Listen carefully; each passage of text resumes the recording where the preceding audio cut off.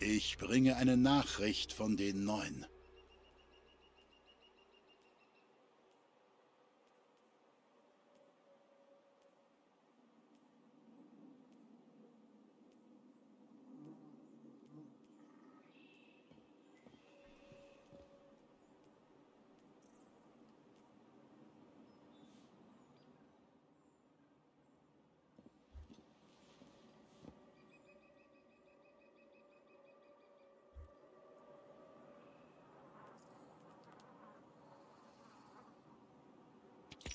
Möge dein Schicksal dadurch verändert werden.